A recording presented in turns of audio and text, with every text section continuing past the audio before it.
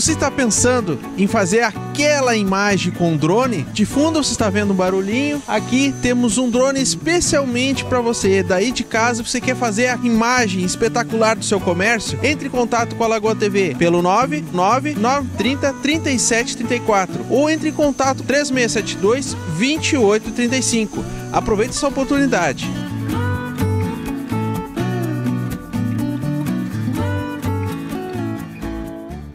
Boa noite, começa agora o Expresso Regional com as principais notícias da região centro-sul do estado.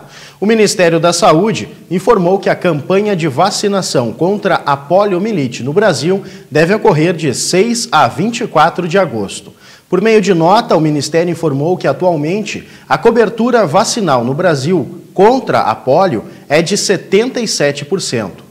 O governo brasileiro reforçou que as vacinas que integram o calendário nacional de vacinação são seguras e eficazes. O esquema vacinal da poliomielite é composto por três doses da vacina, inativa, injetável, administradas aos 2, 4 e 6 meses. Aos 15 meses e aos 4 anos, a criança recebe a vacina oral.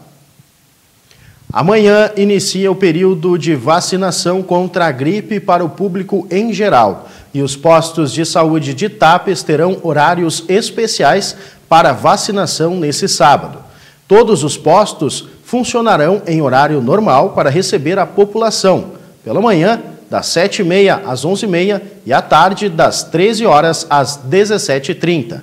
Além da vacina, também será disponibilizado a realização de testes rápidos e exames citopatológicos. Hoje, no Clube Náutico Tapense, a partir das 19h30, vai acontecer um treinamento inovador para você que está buscando crescimento pessoal e profissional. Quem vai ministrar essa noite de muita sabedoria é o Gustavo Bozetti e empresários que usam os métodos do Mastermind. O evento é gratuito e ainda conta com ação social em benefício ao CAP do município com arrecadação de leite. Essas e outras notícias você confere em www.lagoatv.com. Tenham todos um ótimo final de semana.